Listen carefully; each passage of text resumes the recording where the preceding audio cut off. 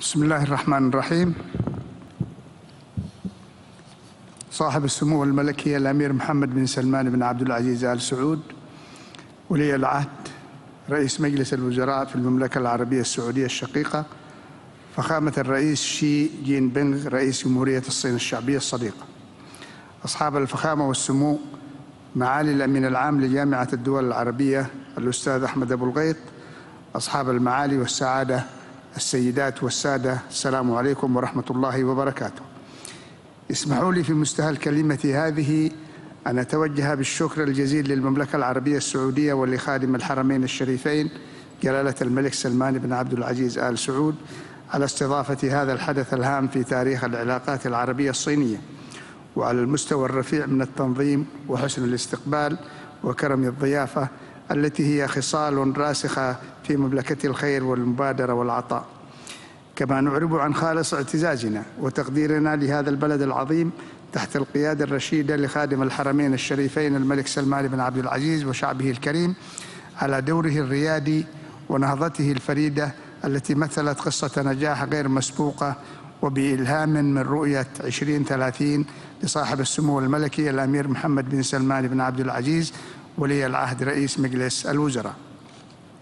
كما أتوجه بالشكر والتقدير لفخامة الرئيس شي, شي جين بينغ رئيس جمهورية الصين الشعبية الصديقة التي تربطها باليمن وشعبه علاقات تاريخية متينة تمتد لعقود طويلة من الزمن وعلى جهوده الحثيثة في إنجاح هذه القمة لتكون محطة انطلاق لتعزيز العلاقات العربية الصينية وأساسا متينا لشراكة عربية صينية نحو مستقبل مشرق قوامه المصالح المشتركة والاحترام المتبادل وعدم التدخل في الشؤون الداخلية للدول.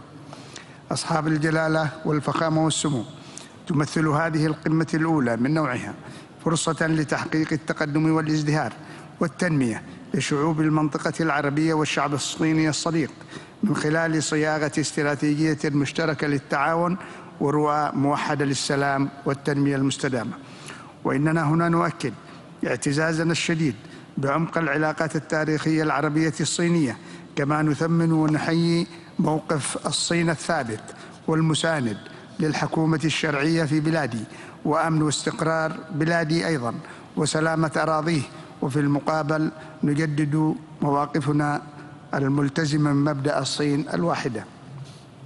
ولا شك أن انعقاد هذه القمة يأتي في ظروف مثالية لمقاربة تطلعات بلداننا وشعوبنا في عالم تعصف به النزاعات والحروب والفقر والجوع والتشرد فضلا عن تداعيات التغير المناخي الحاد وما يتطلبه ذلك من جهود مشتركة لتعزيز التضامن الجماعي وعدم ترك الدول الأقل نموا غارقة في الصعاب بعيدة عن الركب. لذلك يتعين علينا في هذه المرحلة الحاسمة الاستفادة القصوى من المبادرات الإقليمية والدولية السانحة بما في ذلك الحزام والطريق والشرق الأوسط الأخضر جنبا إلى جنب مع مضاعفة جهود صناعة السلام والإبداع والريادة. أكرر لكن دعوني أكون واضحا معكم بالقول أن المضي قدما في هذه المبادرات بحاجة أولا إلى إنهاء النزاعات والحروب في المنطقة وفي المقدمة دفع الميليشيات الحوثية الإرهابية المدعومة من النظام الإيراني إلى الرضوخ للإرادة الشعبية والدولية والحيلولة دون التدخلات الإيرانية السافرة في شؤون بلادي وتزويد ميليشياتها بكافة أنواع الأسلحة المحرمة دولياً. ومن جانبنا في مجلس القيادة الرئاسي والحكومة فإننا سنواصل العمل معكم من أجل السلام الشامل الذي يستحقه شعبنا اليمني وفقا للمرجعيات الثلاث المبادرة الخليجية ومخرجات الحوار الوطني وقرارات مجلس الأمن ذات الصلة وخصوصا القرار 2216 الإخوة الحضور إن ما يواجهه اليمن كحلقة مهمة في أرث طريق الحرير بمعابره البرية الشاسعة ومنافذه وجزره الاستراتيجية وخلجانه المتشاطئة مع دول المنطقة بين مضيق باب المندب وقناة السويس سيكون اختبارا هاما لتجمعنا هذا وسيظل كذلك تحديا للعالم أجمع. لذلك فإن هذه القمة يجي أن ينبغي أن تمثل استجابة واعية واستشعارا واقعيا لهذه التحديات المحدقة بأمننا الجماعي والتزاماتنا ومسؤولياتنا أمام المجتمع الدولي. وإننا نامل ترجمة ذلك إلى استراتيجية موحدة لمواجهة تحدياتنا المشتركة وفي المقدمة دعم شعبنا اليمني ومساندة حكومته الوطنية وإصلاحاتها الاقتصادية والخدمية في مواجهة المشروع المتطرف للميليشيات الحوثية الإرهابية وتخادمها مع تنظيم قاعد القاعدة وداعش والعمل على إنهاء الأزمة الإنسانية الاسوى في العالم التي طال أمدها والتعاطي السريع مع خطر الانسكاب النفطي المحتمل من الناقلة صافر في البحر الأحمر قبل أن يضعنا التسويف جميعا في قلب المواجهة مع أزمات كبرى خارج السيطرة. أصحاب الجلالة والفخامة والسمو الإخوة الحضور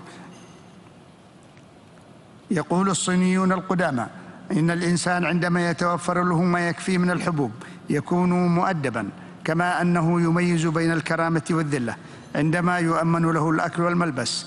وخلال السنوات الماضية دمرت الحرب مدن اليمن وأريافها وسحقت سبل العيش وحولت البلاد إلى بؤرة نشطة لتصدير العنف وتغذيته بمجامع الفقراء والجوعى في محاولة لتحويل بلادنا إلى نقطة انطلاق لتهديد أمن المنطقة.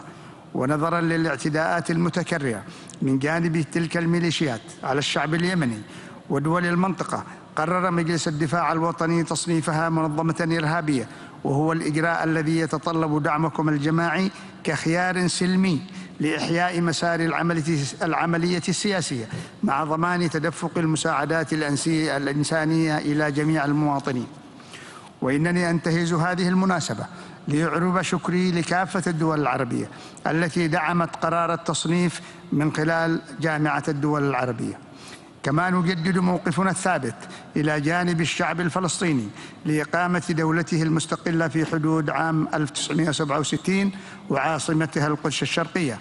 أصحاب الجلالة والفخامة والسمو لا يزال تحالفنا مع أشقائنا بقيادة المملكة العربية السعودية ودولة الإمارات العربية المتحدة إحدى أقوى التحالفات التي عرفها العالم خلال العصر الحديث حيث كانوا معنا على طول الطريق في الدفاع عن دولة عضو في الأمم المتحدة. ختاما أبارك لكم نجاح القمتين السعودية الصينية والخليجية الصينية وأتمنى لقمتني هذه برئاسة أخي خادم الحرمين الشريفين الملك سلمان بن عبد العزيز نجاحا مماثلا وأن تشكل مدخلا واطارا جامعا لتحقيق تطلعات شعوبنا في التنمية والسلام والاستقرار. والسلام عليكم ورحمة الله وبركاته.